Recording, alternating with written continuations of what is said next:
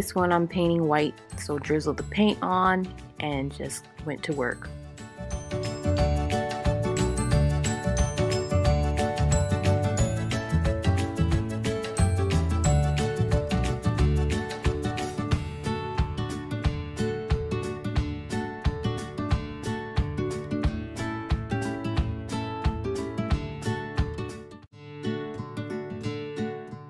I took this gold glitter and while the paint was still wet, poured it right on top of the pumpkin, allowing pieces of it to drip down to create a cascade effect.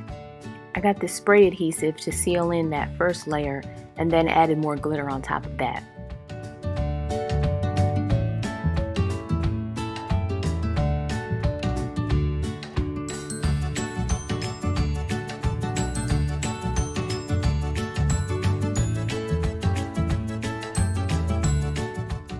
On to the second pumpkin which I also decided to paint white.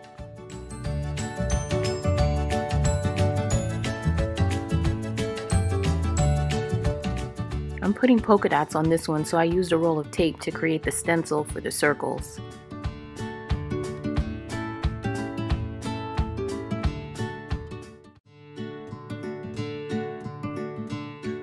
I then drew the circles on randomly around the pumpkin.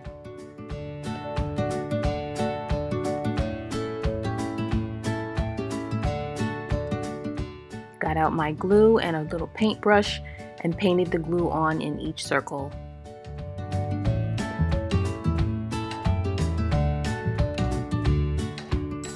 Next, I sprinkled this iridescent blue glitter on each glue spot.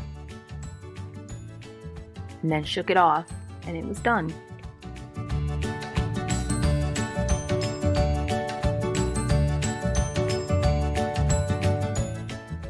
For the last pumpkin, I went with this bolder red color just to do something completely different.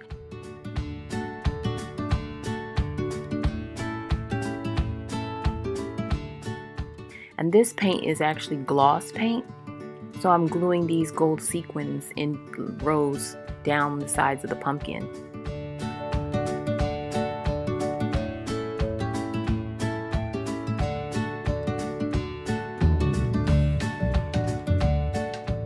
I then use the spray adhesive again to glue the remaining sequins to the top of the pumpkin to cover the stem which was already falling off and it just gave it its own unique look.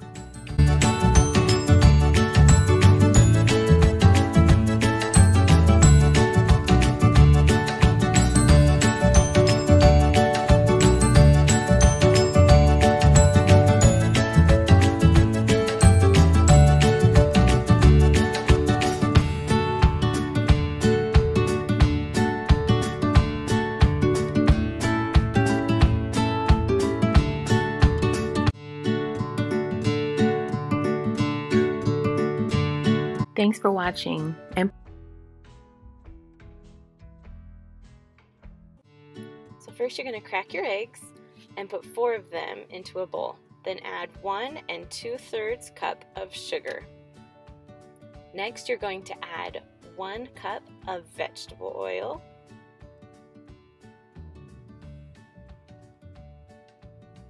Then a smaller can of pumpkin. So there's comes in two sizes, the big can the smaller can. You're going to add the smaller can, which is about 15 ounces, and just put that all in with the rest of it. Then mix it really well.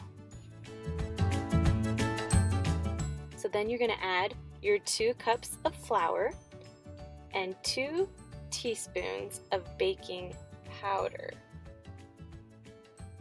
Now these are your dry ingredients. You can sift them all together, but I just throw them in. And then just one teaspoon of baking soda. Then I have my cinnamon, so it's two teaspoons of ground cinnamon, and then just one teaspoon of salt. You don't have to use the whole teaspoon, I did about half a teaspoon. Then mix it really well. Then I have a 9 by 13 pan that I'm going to spray with cooking spray and then just dump your batter into the pan. Then spread it around so it's pretty even and then you're going to stick it in the oven at 350 degrees for 30 minutes. Once you're all done baking it, you're going to take the other end of a wooden spoon or a fork and poke holes in it. I like the bigger holes because then when I drizzle my caramel on top, um, it seeps into this cake a little bit better. Then spread the caramel around the best you can, getting it into the little holes. Now let's make the frosting. So I have a container of Cool Whip, and I use the whole entire container. Next, I use cream cheese. I use not the fat-free kind because it mixes a little bit better. Then just add two cups of powdered sugar and mix it with your beaters. Mix it for about two minutes till it's nice and smooth. Then you're just going to put it on top. You want to make sure that your cake is pretty much cooled when you do this or else it will melt down into the holes with the caramel. And then just spread it around the best that you can. Then I like to put crushed pecans on top along with a little caramel drizzle as you're serving each individual piece. Hey, thanks for stopping by today.